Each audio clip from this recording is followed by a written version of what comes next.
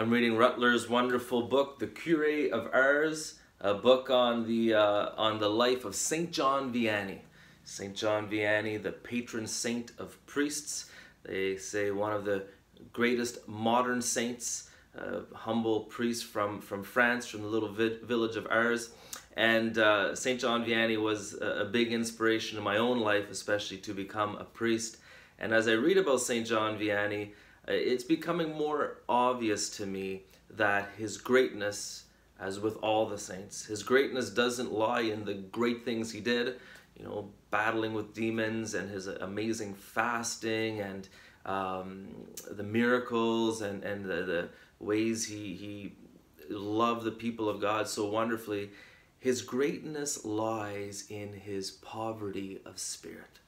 That first beatitude, blessed are the poor in spirit, for theirs is the kingdom of God. St. John Vianney, the cure of Ars, was a humble man, a tremendously humble man who had the gift of tears. His whole life, he wept. His whole priesthood, he wept over his own sins. He wept over the sins of his parishioners, begged God for their conversion. A truly humble man, poor in spirit and blessed.